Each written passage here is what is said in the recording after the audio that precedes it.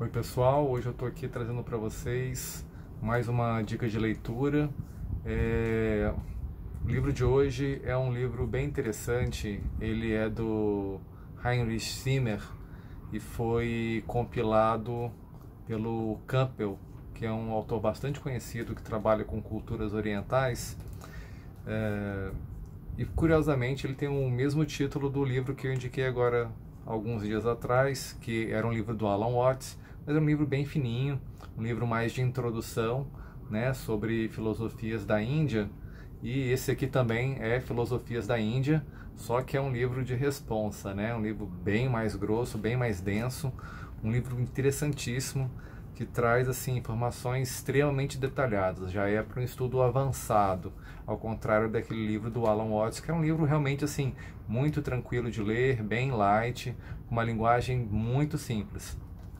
Esse daqui é um livro que vai exigir um pouquinho mais de atenção e dedicação, né? um pouco mais de investimento por parte de quem está estudando, mas eu garanto que vai ser um livro assim, diferencial para que você possa de fato é, compreender um pouco mais é, da produção filosófica ali da Índia, da China e até mesmo do Japão por conta de algumas raízes, né?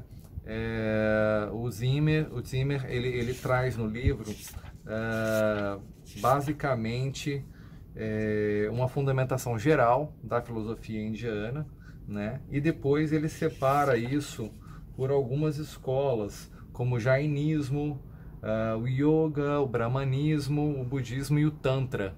Então acredito que pode ter aí assim alguns pontos que são interessantes para o seu estudo. Eu separei alguns trechos para poder ler aqui e comentar com vocês, que eu acho que, que são bacanas, né? É, e o primeiro trecho é o seguinte, né, num capítulo mais geral que ele fala sobre filosofia indiana. Ele conta assim que os filósofos hindus, como os do Ocidente, discorrem acerca de valores éticos e critérios morais. Estudo também os traços visíveis da existência fenomênica, criticando os dados da experiência externa e obtendo conclusões sobre os princípios que se serviram de base. Em resumo, a Índia teve e ainda tem suas próprias disciplinas psicológicas, éticas, físicas e teoria metafísica. Mas a preocupação fundamental, em contraste notável com os interesses dos modernos filósofos ocidentais foi sempre a transformação e não a informação. Uma mudança radical da natureza humana e, com isto, uma renovação na sua compreensão não só do mundo exterior, mas também de sua própria existência. Uma transformação tão completa quanto possível, que ao ser coroada pelo êxito, leva a uma total conversão ou renascimento.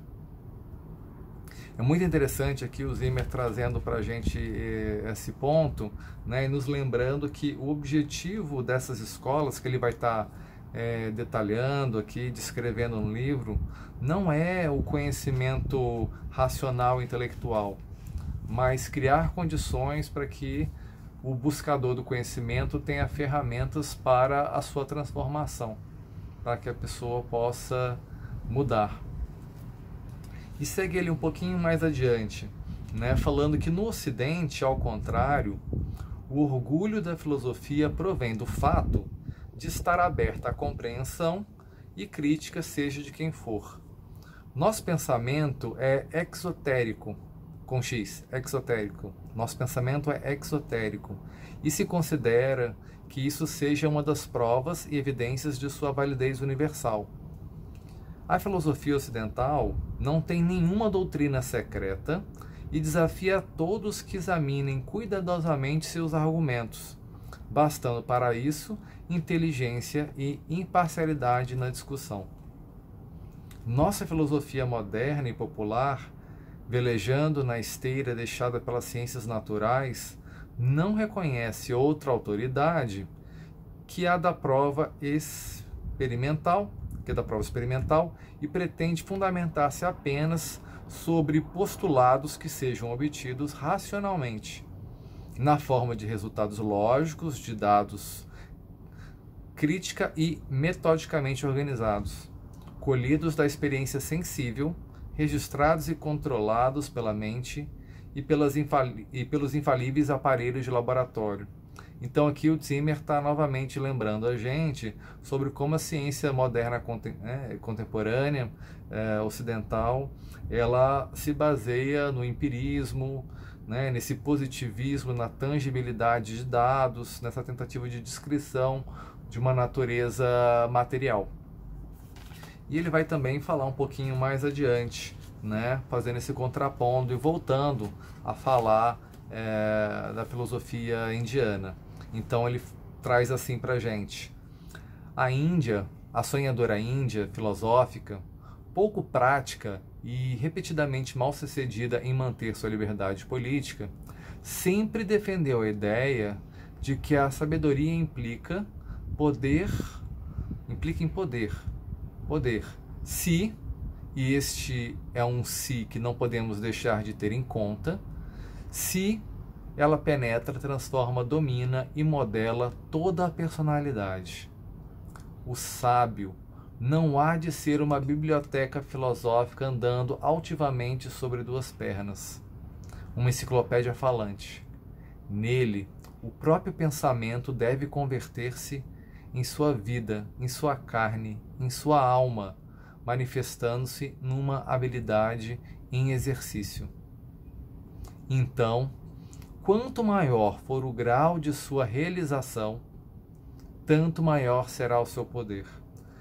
E é muito interessante assim ler esse trecho aqui, né, é, do Zimmer que me remete diretamente para a Gestalt terapia, né, quando a gente não tem esse foco num saber racional, mas sim num saber que é ampliado, que é mais completo, né, esse saber, esse dar-se conta com a awareness, que é uma capacidade diferenciada realmente de ter acesso, de compreender aquilo com o qual a gente está tendo contato.